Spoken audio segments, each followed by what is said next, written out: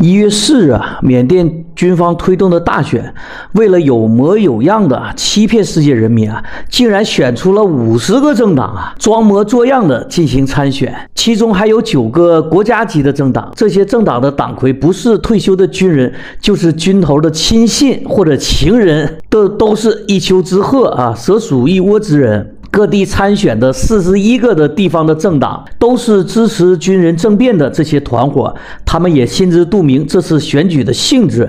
军人集团为了把这个戏演得像真的一样，要求这五十个政党啊建立自己的党的办公室。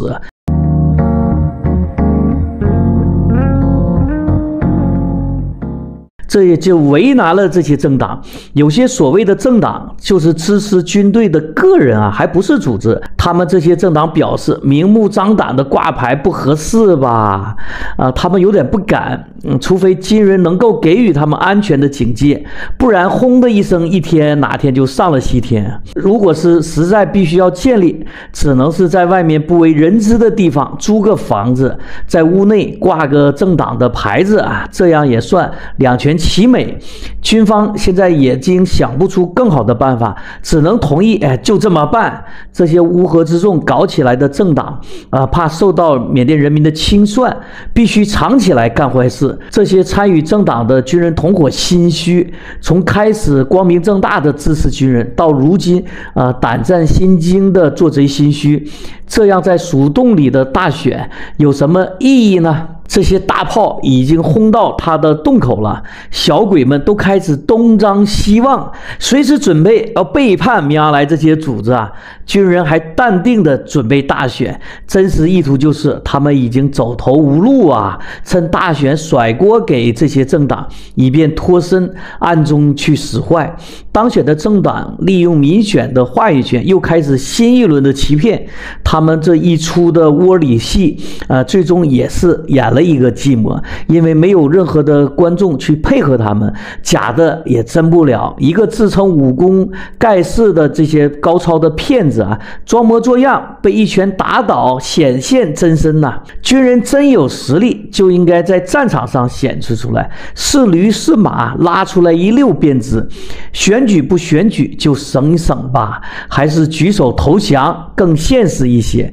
军人大力宣传的选举之际，军控。区的现状是没电、没水、没网络，盗匪横行，军警堂而皇之的到处的罚款抢劫，根本不需要任何的理由，拦下车子，当地人就要几万缅币，中国人那可都是几十万起价呀。青年人抓丁啊，分不清是绑架还是抓丁，反正逃过一劫的人啊，就感觉自己啊心有余悸，劫后余生啊这样的一种庆幸。特别是去这些机场啊，尤其是仰光的国际机场，像去了一个鬼门关。奉劝中国人现在要回国呀，尽量叫出租车去机场。我告诉你是为什么，出租车司机也是多要一万两万缅币，你就不要跟他计较了。弄不好你还会因小失大。最近几天有中国的朋友送朋友去回到国内，在机场的入口必须交出这些证件抵押给呃这些入口的管理处，出来要取这些证件，你猜猜多少？最少要收四十万缅币啊，多了七十万都有。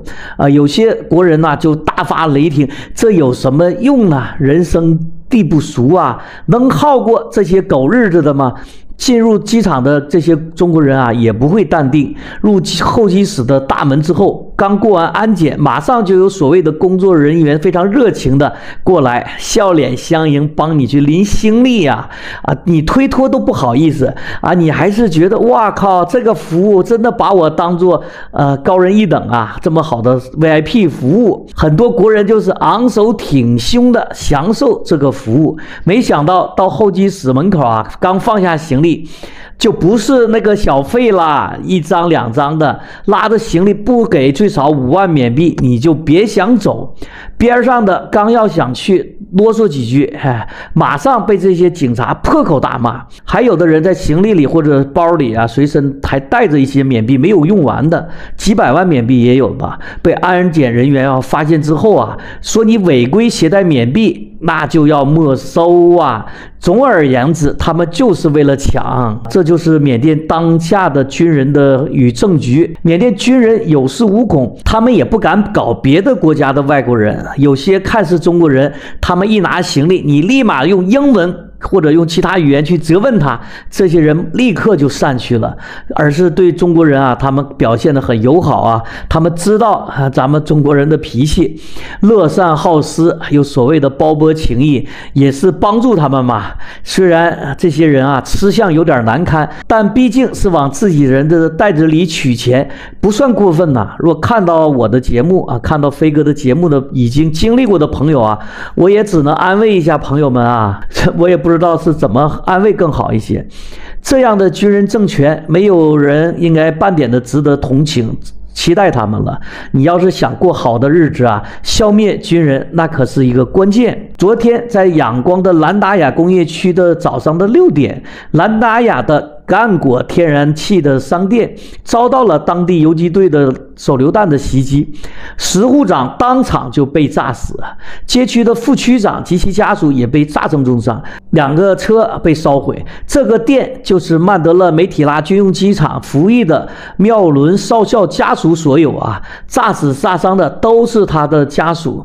呃，自从缅甸空军呃狂风乱炸自己的百姓，抓捕杀害革命的家属，地下游击队其实早就盯上了妙伦少校，在仰光兰达雅的家进行对他进行了监视，因怕伤及无辜，啊，迟迟没有去动手。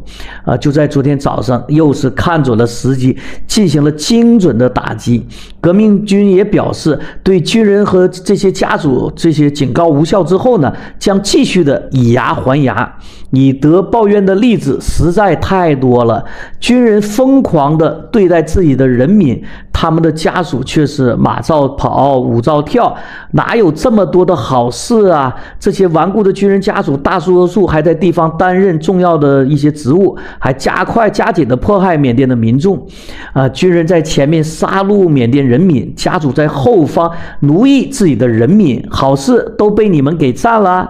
他们杀人也不讲人道。你杀他们，他们说你不人道，这就是现在国际上的有一些所谓的道德的婊子啊，啊定的一些规则。缅甸人民就是要打破这个规则，应该向以色列人学习啊！谁动我，我动谁；你不动我，我觉得你有苗头，我就提前动你啊！这也是他们的总理内塔尼亚胡经常挂在嘴边的。正常人都应该有这样的思维，做正常的事，竟然能够成为英雄，说明这。个世界已经不太正常了。著名的昂德玛金店老板乌昂三文在在曼德勒机场就被扣下，没收了他的护照。军人集团政变之后，受到国际社会的制裁，怕同船的人啊。跳船逃跑，军政府内政部就规定了，银行、建筑贸易、黄金贸易、金店等知名企业家全部限制出国，除非是军人允许他们才能出去为军人办事。与军头们有亲属关系的这些人啊，好像就不在此列。这样的规定让有钱的阶级抓了瞎呀，惶惶不可终日。家财似乎已经被军方所盯上了、瞄上了，一举一动受到了监视。军人下面。面这些牛鬼蛇神最喜欢干的就是这些偷偷摸摸的事，整天想着分一杯羹。若军人夺权成功，缅甸分田地、打土豪，那就不是梦了。头脑清醒的政变之后，迅速的与军方切割，财产分散。当时军人还顾不上这个茬，我亲眼看到不少人走了这一步，有些人已经在国外迈着轻松的舞步。人呐，必须人无远虑，必有近忧。鼠目寸光，看着军人手中的权力与魔共舞，与军人共同欢唱的进行曲，到头来是偷鸡不成蚀把米，赔上自己的身家性命。金店老板吴昂三文也许是个已经清醒的人，他本来就想蒙混过关啊，但军人已经下了死的命令，估计他花钱买通已经不管用了，要的就是你全部的身家性命。我一直说要做好人，做好人啊！但是你别上人家的贼船啊，上了你就下不来了。有些人你是喊也喊不住，自己就是要往上跳。他们既然对自己人。都去下痛下杀手，对自己这个同同胞，就是缅甸人对缅甸人，还怕对你这个外国人吗？尤其是被忽悠来的这些国人，啊，已经投资的落子无悔呀，没事找事的也应该早点的清醒了，别自找不自在啊。以上就是我今天的播报，还是感谢大家长期对我的支持啊！你们动动你们可爱的小手，点赞、评论、转发，能够让更多的人啊知道缅甸的真相，这样也能够帮助多灾多难的缅甸啊，也让缅甸人啊对我们华人有更好的一个印象吧！啊，我们下集再见。